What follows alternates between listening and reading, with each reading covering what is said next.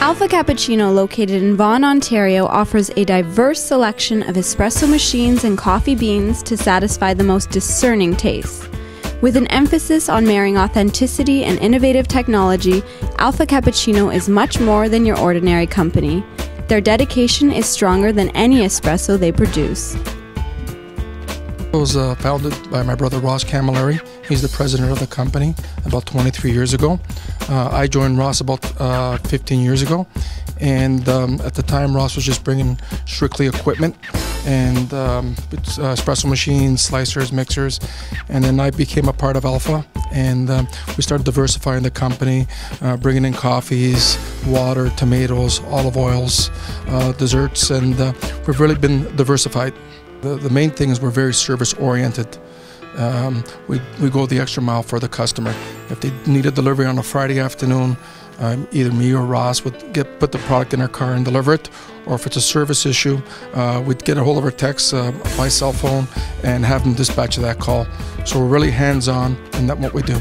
We started in '86, uh, and actually we started off with the slicing machines and I ended up going to the Milan Fair and uh, picking up a line of espresso machines, and that was the beginning of Alfa. We um, have grown from there. Uh, we've added lines, we've added equipment.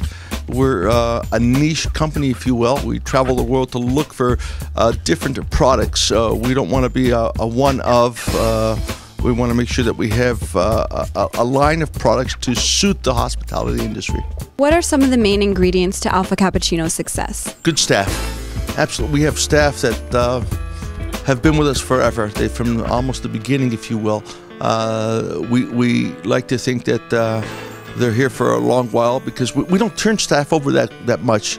We, we want people to stay here and enjoy the job that they're doing here with us. Um, the hard work that uh, we put into the, the, the location. Uh, uh, having 250 uh, pieces of equipment in the showroom, having a good service department, having uh, six vehicles on the road, um, being connected to all our service techs and all our sales reps, and um, making sure that we we we listen. We're not perfect. We try to provide the best service that we can, if you will. Uh, it's difficult. It's it's a challenge at times. Uh, but we, we try the best that we can, and that's that's what we have to offer. Well, I've learned a lot today from Ross and Sam Cammalleri, and I hope that you did too. But if you'd like some more information, you can always visit www.espresso.com.